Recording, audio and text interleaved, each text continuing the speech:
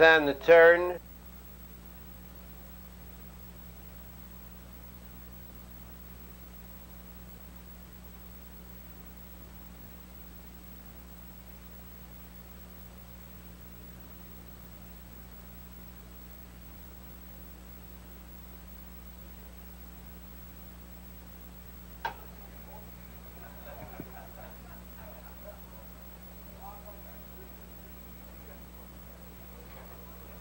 They're off.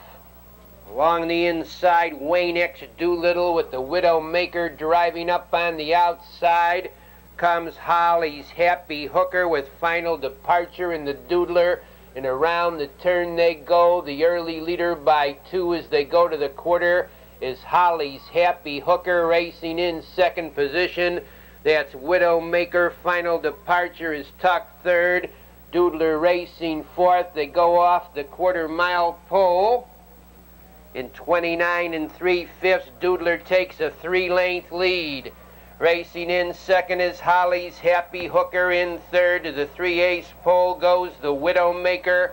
Final departure fourth with Wayne X Doolittle, Mahalo Skipper, Sunbow Hawk, Vagabond Dancer, and Bainbridge. Into the half mile, the Doodler leads by two, racing second by the half mile pole. Is Holly's Happy Hooker coming on third is the Widowmaker. Racing in fourth is Doodler. Into the three quarters, staying out there is Doodler a length and a quarter on the outside. That's Widowmaker second, racing in third. Holly's Happy Hooker in fourth to the three quarters. Final departure. They move off the three quarters and 131 and 1. Doodler stays out there a length and a quarter on the outside second. Widowmaker along the rail. Holly's Happy Hooker.